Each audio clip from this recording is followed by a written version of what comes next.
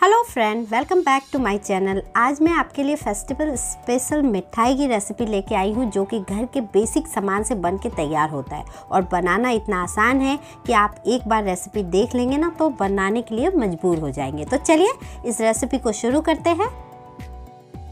अगर अभी तक आपने मेरे चैनल को सब्सक्राइब नहीं किया है तो सब्सक्राइब कर दीजिए बेल पर जाके ऑल को ज़रूर प्रेस कर दीजिए, ताकि मेरी हर वीडियो की नोटिफिकेशन आपको मिलती रहे। तो ये मिठाई बनाने के लिए यहाँ पे मिक्सर का छोटा वाला जार लिया है और जार में मैं यहाँ पे ले रही हूँ आधा कप सूजी। छोटी कटोरी है, कप से अगर मेज़र करें तो आधा कप होता है।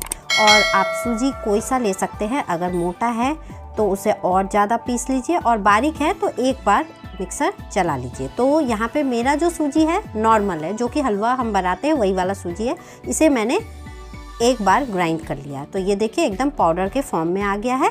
अब इसे रखते हैं साइड और चलते हैं दूसरे प्रोसेस के लिए। अब यहाँ पे मिक्सर का बड़ा वाला जार लेते हैं और जार लेने के बाद अब लेते हैं हम इसमें डेजिकेटेड कोकोनट ये आसानी से मार्केट में मिल जाता है नारियल का सूखा बुरादा। तो यहाँ पे मैंने लिया है एक कप आधा कप लिया था मैंने सूजी और एक कप लिया है यहाँ पे डेजिकेटेड कोकोनट आप जितना डेजिकेटेड कोकोनट ले रहे हैं, उतना ही आपको दूध लेना है। तो यहाँ पे मैंने नॉर्मल टेम्परेचर पे दूध दिया है एक कप। एक कप डेजिकेटेड कोकोनट और एक कप दूध। दोनों का मेज़रमेंट सेम रहेगा और इसको हम एक बार ग्राइंड कर लेंगे। एक बार ग्राइंड कर लिया है और ये हमारा कोकोनट मिल्क बन के तैयार हो गया है। अब यहाँ पे गैस ऑन कर देते हैं और कढ़ाई रख देते हैं। गहरे तले का बर्तन लीजिएगा और इसमें मैं ढाई चम्मच शुद्ध घी डाल रही हूँ। घी मेल्ट ना हो तो भी चलेगा क्योंकि गैस तो यहाँ पे ऑन ही है। तो यहाँ पे घी को हम मेल्ट करते हैं और ये जो हमने सूजी को ग्राइंड किया था, वो इसमें डाल देंगे। लो टू मीडियम फ्लेम पे इसे हल्का सेकना है। आपको इसका कलर चेंज नहीं करना है। जैसे कि हलवा में आप चेंज करते हैं ना कलर कलर वैसा आपको चेंज नहीं करना है। बस थोड़ा सा इसका कच्चापन निकल जाए, इतना आपको इसे चलाना है। दो से तीन मिनट चला लिया, अब कटोरी में जो भी बचे हुए घी थे वापस इसमें डाल देते हैं और वापस इसे चलाते हैं। लो टू मीडियम फ्लेम पे ही रखिएगा और इसे हमें भूनना है पाँच से छः मिनट। पाँच मिनट तक मैंने इसे लो टू मीडियम फ्लेम पे भूना था और देखिए कलर चेंज नहीं हुआ है। घी लेकिन छोड़ने लग गया है। अब इस स्टेज पे यहाँ पे मैं आधा कटोरी पीसी हुई चीनी ऐड कर रही हूँ। आप चाहें तो बिना पीसे भी चीनी डाल सकते हैं। तो यहाँ पे चीनी डालने के बाद इसे हम वापस एक से दो मिनट चलाते हैं। और जब चला लेंगे तो बीच में आप थोड़ा सा इलायची पाउडर डाल दीजिए। बहुत अच्छी खुशबू आती है। आप चाहे तो इस स्टेज पे केवरा भी डाल सकते हैं। केवरा एसेंस जो आता है मार्केट में आसानी से मिल जाता है, वो भी इसमें आप डाल सकते हैं। जब सभी चीज़ अच्छी तरह से मिक्स हो जाए तो ये जो हमने डेजिकेटेड कोकोनट और मिल्क को ग्राइंड किया था, वो इसमें ट्रांसफ़र कर देंगे और इसे लो टू मीडियम फ्लेम पे अच्छी तरह से चलाते हैं। और एक चीज़ ध्यान रखिए, जो ये मिक्सर के जार में बचे हुए हैं ना कोकोनट और मिल्क इसमें थोड़ा सा मिल्क डाल के वापस इसी कढ़ाई में आप डाल दीजिए। अब इसे हम कंटिन्यूस चलाते हैं। आपको कढ़ाई को छोड़ना नहीं है। धीरे धीरे करके अच्छे से, चम्मच की सहायता से इसे मिलाइए। आप जब इसे चलाएँगे तो आप देखेंगे कि धीरे धीरे ये जो है ना, डो के फॉर्म में बनने लग गया और कढ़ाई ये छोड़ने लग गया।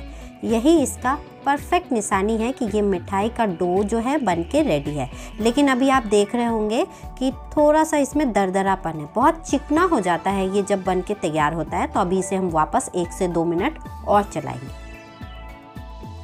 लगभग तीन मिनट अच्छे से मैंने इसे चला लिया है, थोड़ा मसल भी लिया है, चम्मच की सहायता से भी मसल लिया अब देखते हैं कि ये डो हमारा बन के तैयार हुआ है कि नहीं। तो छोटा सा एक टुकड़ा लीजिए और इस तरह से हाथ में आप घुमाइए। तो देखेंगे कि आपके हाथ में बिना चिपके हुए ये रोल हो जाता है। तो यहाँ पे आप समझ जाइए कि ये डो बन के आपका तैयार हुआ है।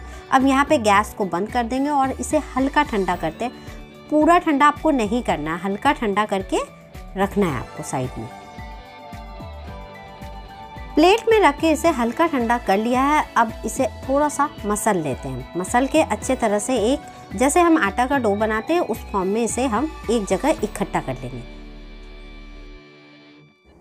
अब इसका एक टुकड़ा लेते हैं। अब आपके पास दो चॉइस है। चाहे तो आप इस तरह से इसे लंबे चमचम के शेप में भी दे सकते हैं और चाहे तो आप इसे पेरे के फॉर्म में भी बना सकते हैं। तो मैं आपको दोनों तरीके का बता रही हूँ। तो यहाँ पे देखिए, मैंने इसे चमचम का शेप दिया है, लंबा शेप देके और आप चाहें तो पेरे का सेप भी दे सकते हैं। तो मैं बना रही हूँ इसे पेरे के सेप में। एक तो मैंने आपको चमचम के सेप में बना के दिखा दिया। दूसरा क्या है? ये देखिए इस तरह से मैंने एक छोटा सा टुकड़ा लिया है, उसे अच्छी तरह से रोल कर लीजिए, किनारे इस तरह से दबा लीजिए और इसे हल्का सा प्रेस कर दीजिए। तो ये हमारा पेरे के फॉर्म में बन गया है।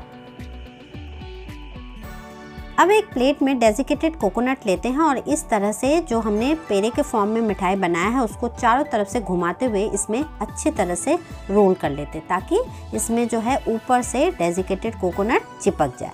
और देखने में भी बहुत अच्छा लगता है ये। ये देखिए कितना अच्छा लग रहा है। अब एक प्लेट में क्या करेंगे, इसे निकालेंगे और ये पेड़े को रखेंगे। ऊपर से आप इसे किसी भी तरह से गार्निश कर सकते हैं। पिस्ता लगा सकते हैं आलमंड लगा सकते हैं। तो यहाँ पे मैं थोड़े से गुलाब की पंखुड़ी और पिस्ता इस तरह से बीच में प्रेस करी हूँ और उसके ऊपर इस तरह से मैंने देखिए पिस्ता रखा है और थोड़ा सा गुलाब की पंखुड़ी। कितना बढ़िया लग रहा है और खाने में बहुत ही अच्छा लगता है, कितने कम सामान से बन के तैयार है और सामान ऐसा है कि जो आपके घर में होगा ही। ऐसा नहीं है कि आपके घर में सूजी नहीं है, डेजिकेटेड कोकोनट नहीं है। अगर डेजिकेटेड कोकोनट नहीं भी है ना तो अगर सूखा वाला नारियल है तो ऊपर का लेयर हटाइए और मिक्सर के जार में उसे पीस लीजिए। कितना आसान तरीका है। इसी तरह सारे मिठाई मैं इसमें बना के इस प्लेट में रख लूँगी। तो ये हमारा घर के बेसिक सामान से बन के मिठाई तैयार है। बहुत आसान तरीके से बताया है रेसिपी को ट्राई करिए और फेस्टिवल सीजन्स तो आ ही चुके हैं, आप उसमें ट्राई कर सकते हैं और बहुत ही टेस्टी लगता है। आप अक्सर इस तरह की मिठाई मिठाई के शॉप में आपने देखा होगा जो कि बहुत महँगे मिलते हैं। तो घर पे बनाइए, बहुत सस्ता पड़ता है और बहुत स्वादिष्ट बनता है। तो रेसिपी को ज़रूर ट्राई करिए, अपने फैमिली मेंबर में ज़्यादा से ज़्यादा मेरी इस रेसिपी को शेयर करिए, ताकि वो भी इस फेस्टिवल में इस तरह की मिठाई ट्राई करें और अपने मेहमानों के सामने पेश करें। चलिए मिलते हैं फिर इसी तरह नई नई रेसिपी के साथ। Thank you friend